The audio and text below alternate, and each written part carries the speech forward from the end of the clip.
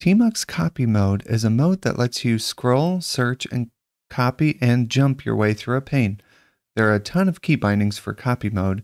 The main ones you'll need are forward slash for searching down, question mark for searching up, N to go to the next item, space to start a selection, and enter to copy the selection.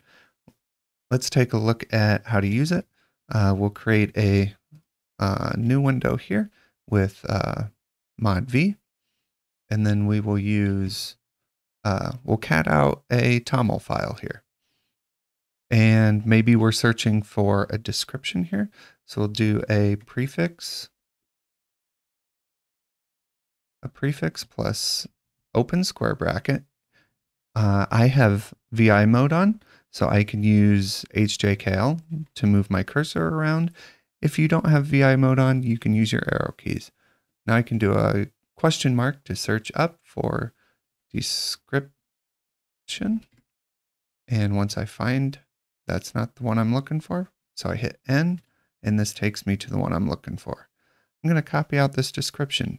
So I'll go over to where the description starts, press space, and then go to where I want to stop selecting, hit enter, and I've copied the text. I can paste it in here. And that is Tmux copy mode.